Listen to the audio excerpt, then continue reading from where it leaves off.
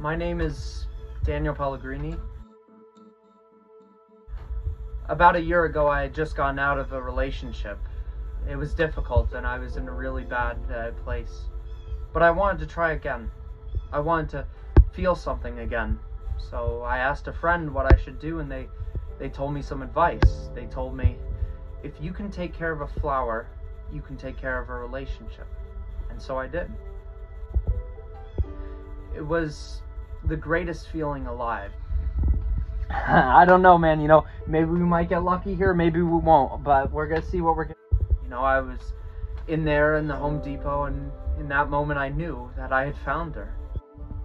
Holy moly! I had found Rose. Oh, hey, baby, how you doing? You doing good? I'm doing great. Thank you for asking.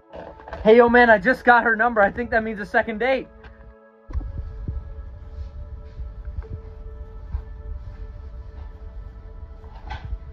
If I didn't tell you that in those truly incredible moments that I had shared with her, that I did not have the best moments of my life, I would be lying.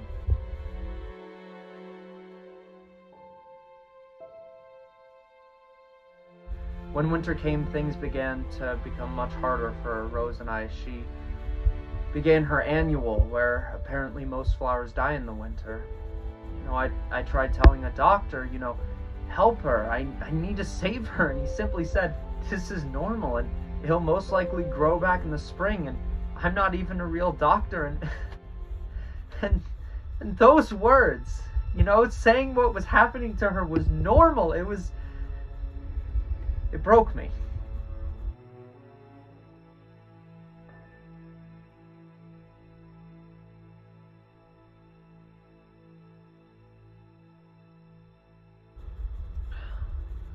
I tried everything. I tried making her meals. I tried keeping her warm. I tried buying a heat lamp for her, but those are expensive and I, I knew I could never afford the cost. By this point, uh, I knew there was only one way to go, and that was to make best of the time that we had left. This is gonna make the best roast veggie stew.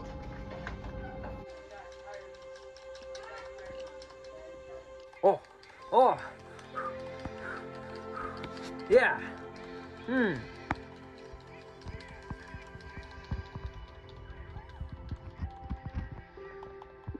I also wanted to get everything in time prepared for the baby. No, no, not that baby. That baby. Poppy. My part of Rose.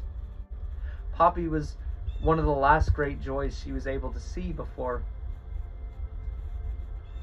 Before. I'm sorry, I. I need a moment. I. Last May, um, Poppy drew this uh, for Rose on Mother's Day.